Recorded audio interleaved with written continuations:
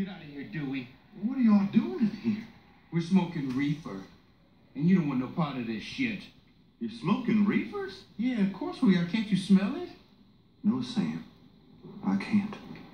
Come on, Dewey. Join the party. No, Dewey. You don't want this. Get out of here. You know what? I don't want no hangover. I can't get no hangover. It doesn't give you a hangover.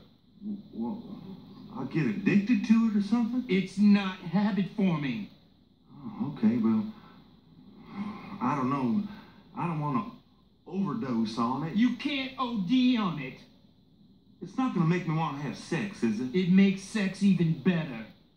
Sounds kind of expensive. It's the cheapest drug there is. Hmm. You don't want it.